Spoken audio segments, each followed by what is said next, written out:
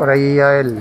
compromiso de que al parecer ya se va a dar el arranque en marzo. Ya estaba dando por ahí algunos mantenimientos en limpieza ya en esta área, pues ya dándole otra, otra visión ahí al área, ¿no? Este, ojalá y Dios quiera que se lleve a cabo y que se abra realmente un, un desahogo para la, para la ciudad, porque pues ya ves cómo se pone en los tiempos de, de que hay la posibilidad de pasar allá con los vecinos por los puentes internacionales, y es un caos, entonces yo creo que esto nos va a dar un poquito más de desahogo para la ciudad. Ahorita por lo pronto se habla que Ahora una inversión de 103 millones eh, de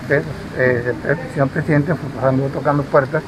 eh, para poder conseguir presupuesto para esta obra, dado que ahorita los tiempos son difíciles y lo de la pandemia, pues no hay los suficientes recursos. Pero bueno, gracias a Dios se logró por allí, este, de arranque 103 millones de pesos para llevar a cabo esta, esta obra, que va a ser una obra bastante importante para la ciudad, para reactivar lo que es el centro histórico, ya que está muy olvidado, lo tenemos, pero el desarrollo para las áreas aldañas de la ciudad, pero no el centro histórico, y requiere de mucha, mucha atención.